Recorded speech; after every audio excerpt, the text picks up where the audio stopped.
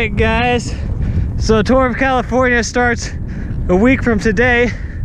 Stage one starts in Sacramento, and I'm gonna be there. Looking forward to it. Uh, I've been to that start area in Sacramento a few times before, and it's a real good start area.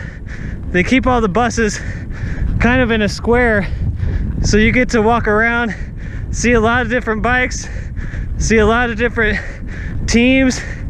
You can kind of pick out which riders you want to see and hop from bus to bus. So it's pretty cool. So I'm looking forward to that.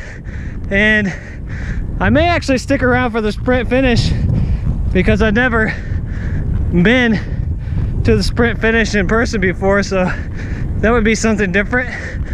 And then stage two on Monday, I forget where it starts, but it ends up around San Jose. So I'm going to, I'm planning on starting in Livermore.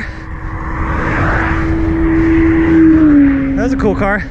Starting in Livermore and taking Mines Road down to the course. And then I'll kind of ride the course back and forth a little bit.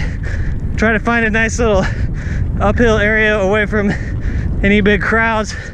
So looking forward to that one too. Should be a good race. I haven't seen, I really haven't seen a start list yet, so I don't really know who's coming. Um, but I'll do that over the next week. Should be a good race. Hopefully I can get some better video this year.